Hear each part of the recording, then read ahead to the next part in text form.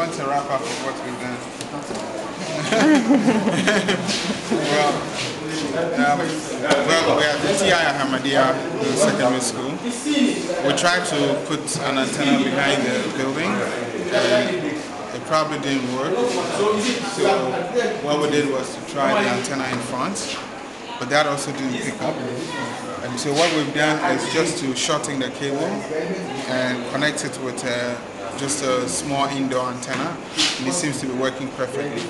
So what we've just found out is probably the connection to the big antenna upstairs or we change in using a flat panel to a Yagi tomorrow morning. And so, you know, with this, as you see now, there's no um, time loss, and it's just one millisecond, which means. So with an outdoor antenna, they should be able to hit the base station without any problems. So what we're going to do tomorrow is just change this panel to Yagi, and I'm sure that everything will be okay here. Thank you. A long day.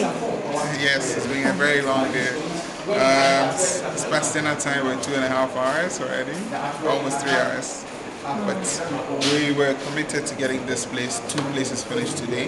Yeah. And that's why we wanted to do this. So now that we're done with this, we're sure that tomorrow we can do two or three more sites. Fine. Yeah, thank you.